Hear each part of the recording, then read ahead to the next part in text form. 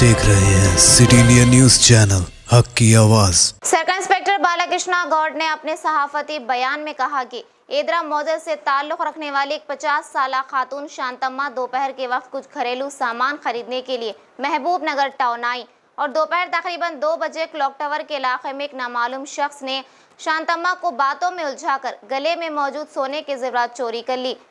Circle inspector Balakrishna Goud ने बताया कि पुलिस में शिकायत दर्ज करने के बाद तीन दिन के अंदर चोर को क्राइम अमले के पवन कुमार गौड़ और श्रीनिवास रेड्डी की मदद से मुलजिम को गिरफ़्तार कर लिया और इससे खोई हुई सोने की अशिया बरामद कर ली। मुलजिम का नाम कावली लक्ष्मैया है, जो पेशे से मजदूर है और मिर्चल मंडल का रिहायशी है, जिसकी उम्र इकतालीस साल बताई जा रही है। इसके पास से मुख्तलिफ़ मकाम पर चोरी किए हुए सामान को बरामद कर लिया है। जिसकी कीमत तकरीबन नब्बे हज़ार रुपये है चोरी में मुलविस शख्स को आज गिरफ्तार करके अदालत में रिमांड पर जेल भेज दिया गया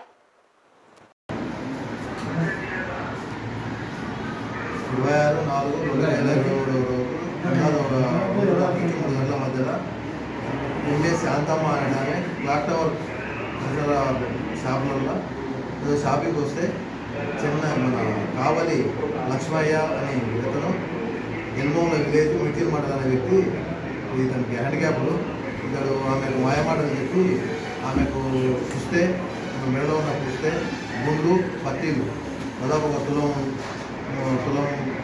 సంబంధించిన బంగారు మాయమాటని చెప్పి మోసగించి ఆమెను తీసుకొని దొంగతనం తీసుకొని వెళ్ళిపోయినాడు అయితే దీని విషయంలో Vardhaman police station నవనాడులో one thirty two by two thousand twenty three under section four seventy ఫోటోని కింద పేరు బుక్ చేసి ఇన్వెస్టిగేషన్ స్టార్ట్ చేసి సీసీ కెమెరాలు అవన్నీ పరిశీలించి అతన్ని అరెస్ట్ చేసి రిమాండ్ తరలింది. అయితే అతని నుంచి మేము ఒకటి